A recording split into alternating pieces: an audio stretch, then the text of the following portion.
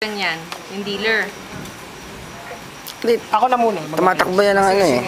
Sa pair 6, button 3. Sino ngayon na mag, ano, sa, So, teka, magtatalo sa atin. tayo. Ikaw pa rin. Split pot. Hindi, split pot na yan. Kasi parehas tayong 10. Because, just because of the 10, wala na kinalaman to. Oo. Wala nang kinalaman. Kasi ganyan yung RIS.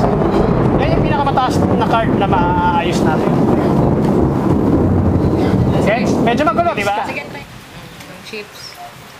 Pwede ko mas mataas pa dun sa binaba mo. Kung gaano kalaki yung binaba mo, pwede kong mas taasan pa para mag-fold ka. Pag nag-fold ka, akin na lahat yan. Oo, kasi So para mata ano mo, para mag-fold yung kalaban mo, taasan mo yung bet mo. Kasi so nag, parang nagkakakinan din yan Oo. sa ano, sa O kaya, itayaan mo lahat yung ano mo.